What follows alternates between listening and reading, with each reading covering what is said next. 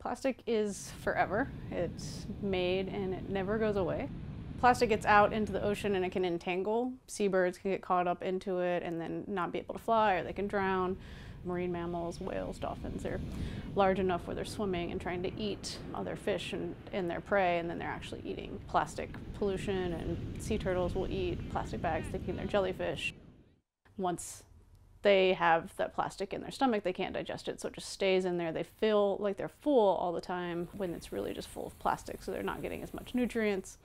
And then on top of that, all the plastic chemicals are leaching back out into the animal itself. And so if those are animals that we eat, then that in turn is being placed on our dinner plates, and we're ingesting that plastic pollution as well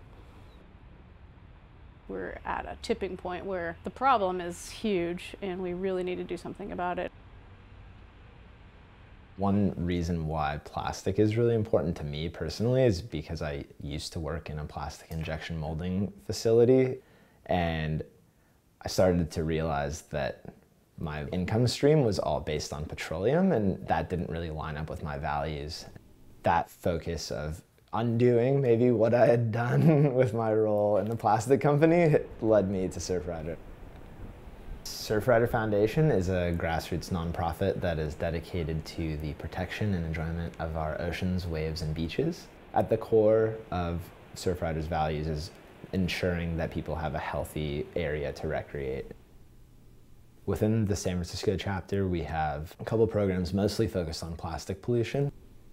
We clean the beach three times a month, two at Ocean Beach and one at Baker Beach when people do take the time, whatever amount it is, that has a lasting impact.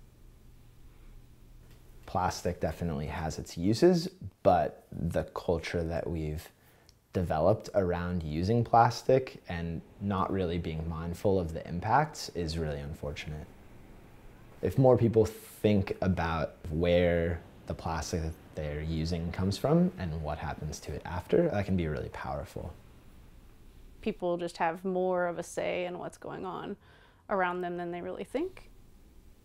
Just being mindful of what you use is the most important part and mm-hmm. thinking twice about using the utensil that you're going to grab. If you're getting a drink, do you actually need the straw? Do you actually need the lid?